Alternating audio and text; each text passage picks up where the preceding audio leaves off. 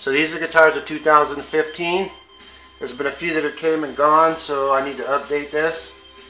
And this is my uh, LTD H500, which is a import ESP guitar.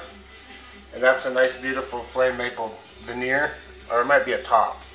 And those are Seymour Duncan's, a custom 5 and a jazz in the neck. 24 frets, and it's very nice. It's got abalone inlays. Very nice guitar. It's got extra jumbo frets too, so it's really easy to play. Okay, next we have the Kramer Pacer.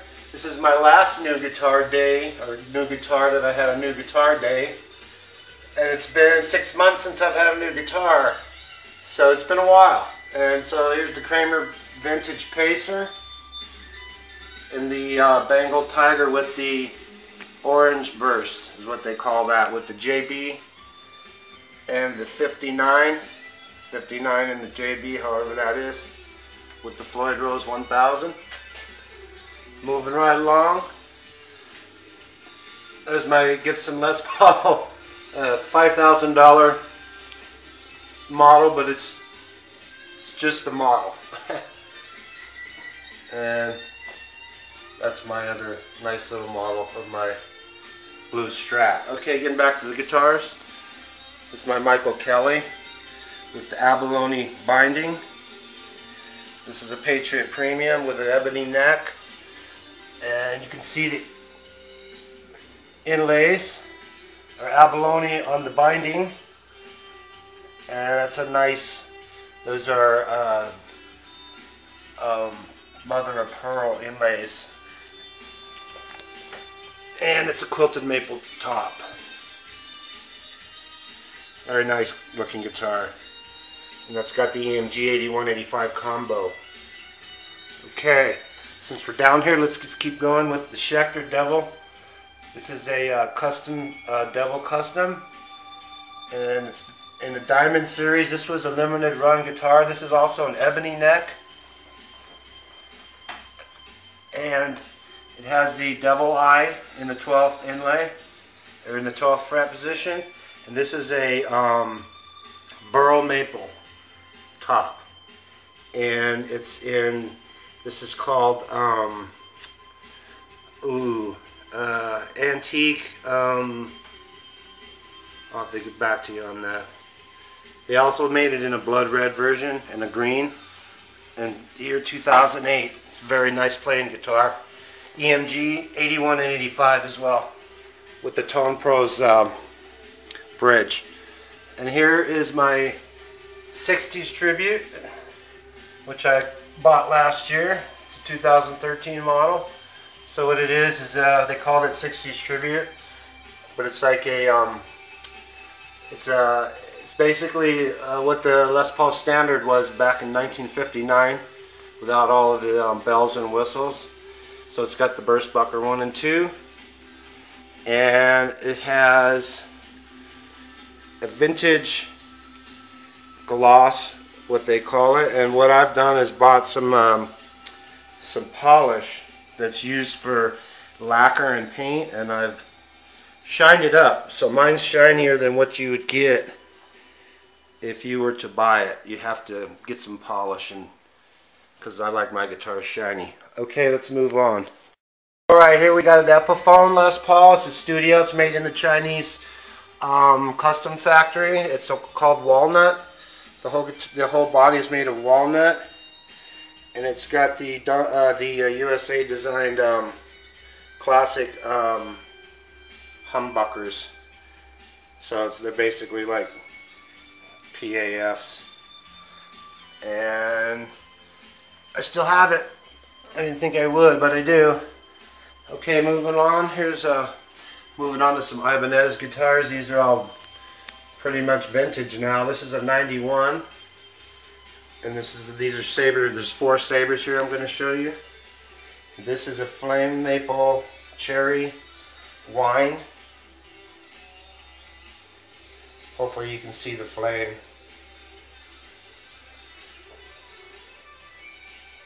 And next to it is a lipstick red. This is an 88.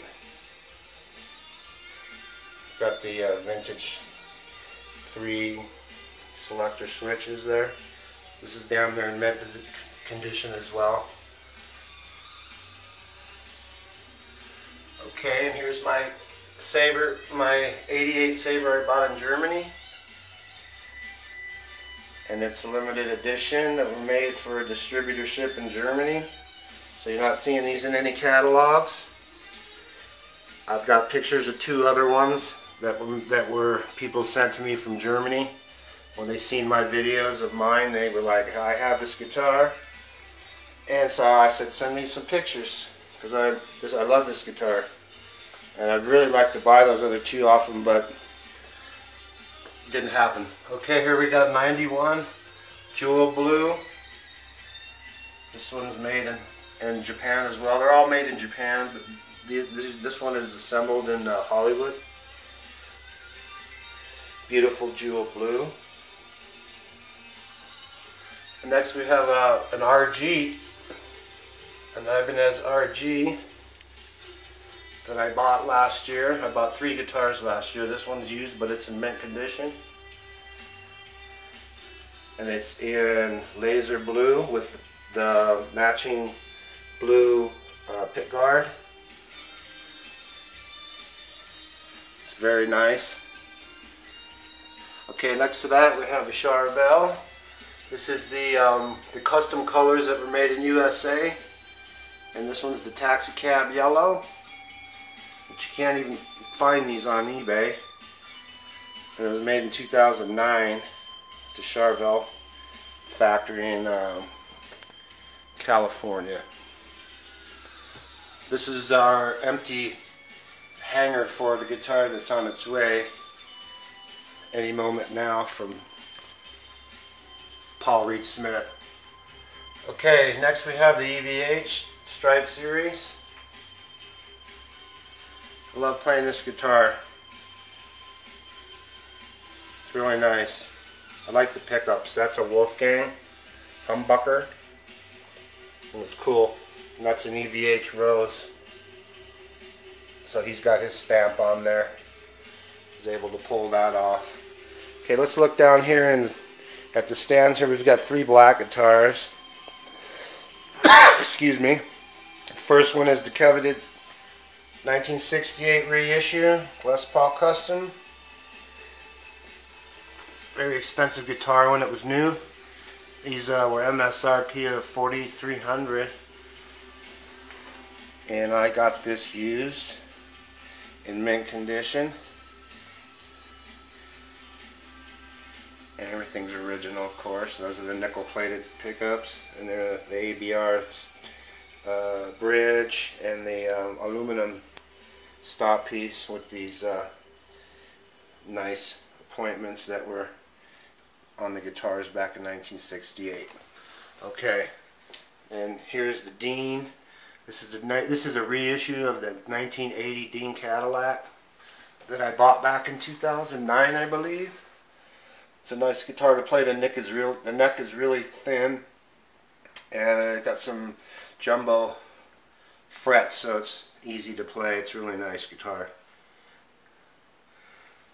And next guitar we have is an Epiphone version of a, this is called a Custom Classic Antique, so they've got the, they even went with the diamond inlay, and that's mother of pearl.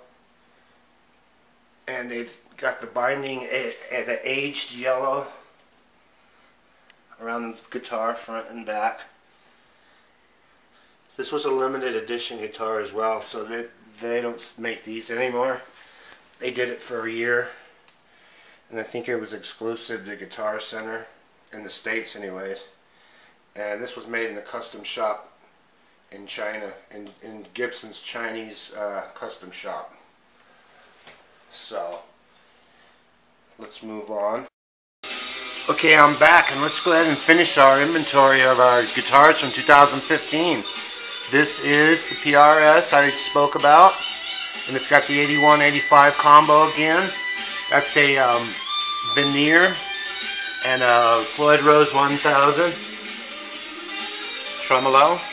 It has jumbo frets with an ebony fretboard, and the fretboard has no inlays. And that is the PRS SE Torero.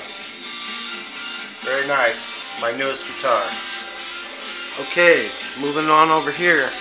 This is my second to next newest guitar that I just did a little review on, and that's the Jackson Pro Series limited edition Dinky.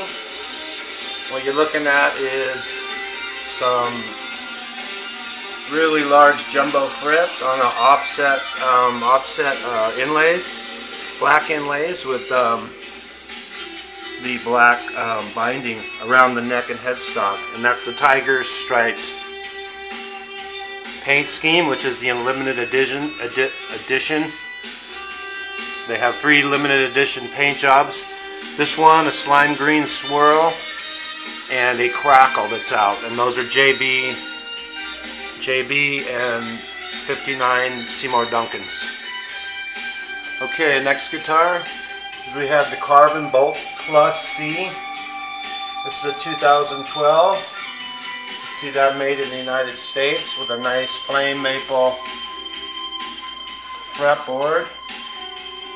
Really love that fretboard.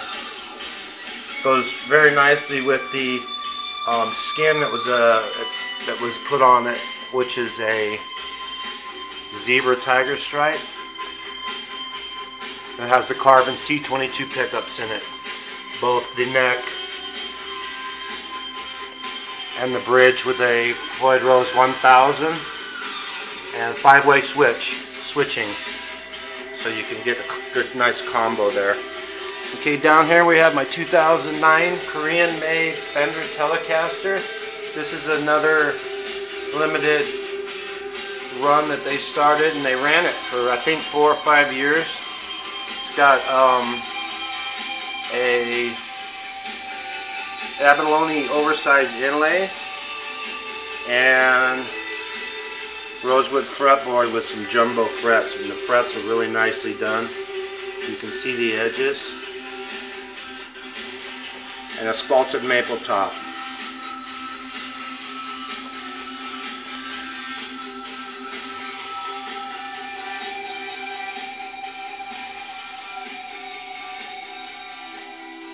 Next guitar is a American Standard and this is a Telecaster made in USA Fender Tele and that's a custom pickguard I had made for it at Terrapin Guitars in Oregon and that's a very nice pickguard I had put on there well I put it on but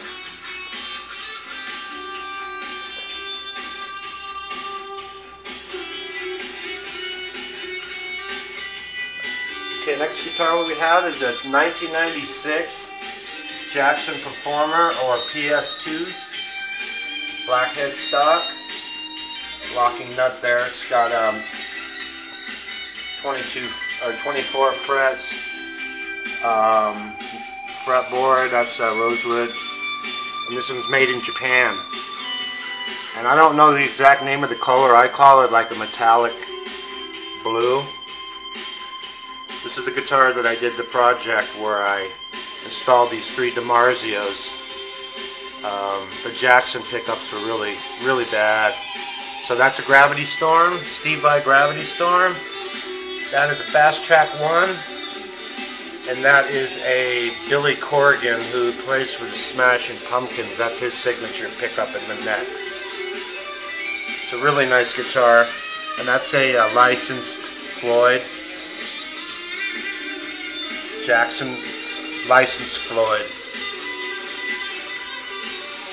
Okay, we're down to our last guitar here on the list, and this is a vintage 1987, around 1987, Kramer Focus 3000, which is made in Japan by ESP, and they are similar to the American-made Pacer Imperial, or Pacer Deluxe.